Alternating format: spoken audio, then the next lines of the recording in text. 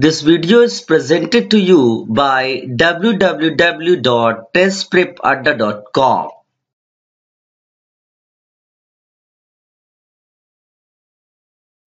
Dear students, in this session I will start the discussion of organic chemistry. In 1780, in 1780, chemistry was classified into two categories.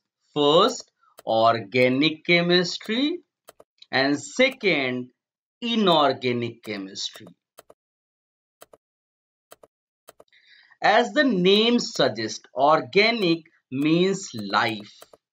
In this organic chemistry, we used to study those compounds which were obtained from living organisms such as plants, animals.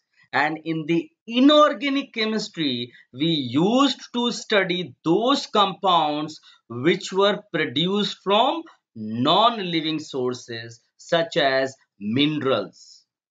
Dear students, this classification was based on the belief that a vital force is necessary.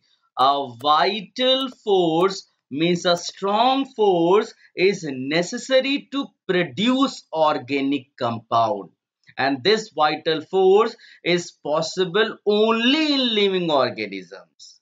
Such synthesis is not possible in the flask in a lab.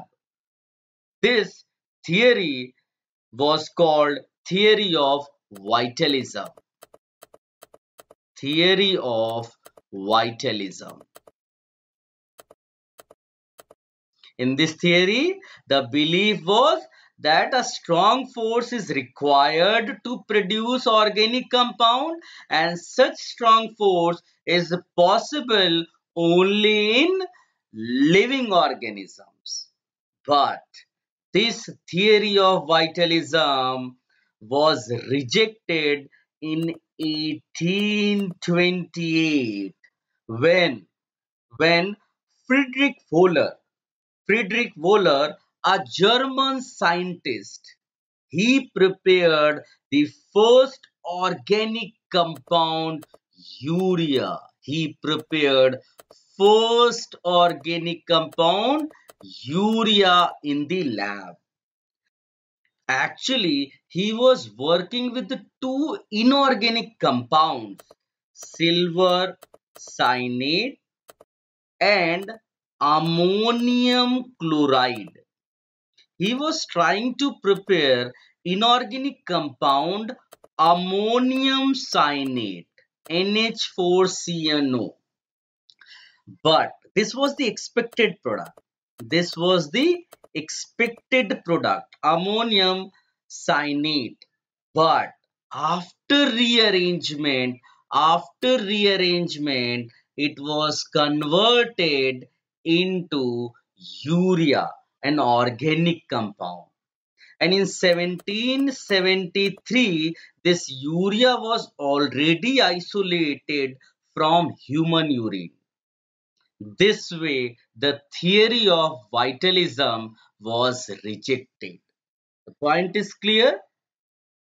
Later on, scientists showed that on burning all compounds obtained from plants and animals in oxygen produce CO2 and H2O.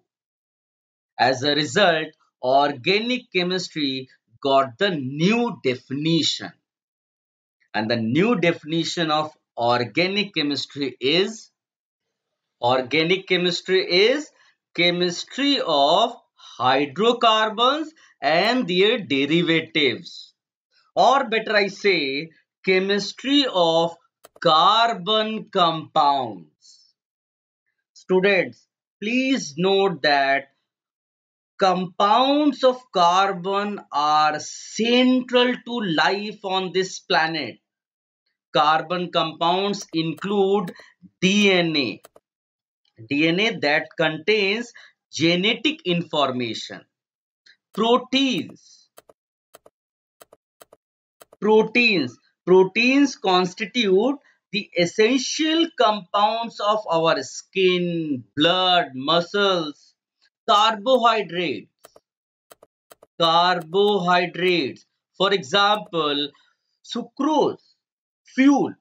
Fuel that we use in our daily life, in automobile engine, petroleum, natural gas, all are organic compounds. Medicines.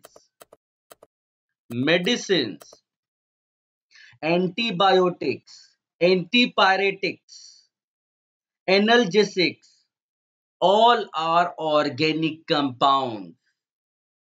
So organic compounds play a very very special role in our life. Got the idea?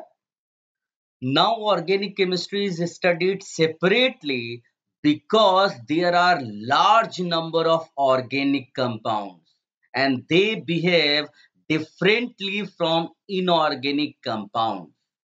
In the next video lecture, I will talk about the reasons for existence of large number of organic compounds. Thank you. This video is presented to you by www.testprepadda.com. TestPrepAdda.com provides free audio-visual lectures of different subjects by expert faculties, free online tests prepared by expert faculties to students who are preparing for engineering or medical entrance exams or planning to take exams like KVPY, Olympiad, etc. It provides a platform where students can interact with mentors to improve their performance in the exams. The mission of this online medium is to help students to achieve their goals. Log on to www.testprepadda.com to watch free video lectures on different topics, to download free revision notes, to take free chapter-wise online tests, progressive test and mock test, to discuss doubts with mentors. Thank you for watching the video. To stay up to date with the latest videos, subscribe to our YouTube channel. Like us on our Facebook page, Test Prep Adda. All the best.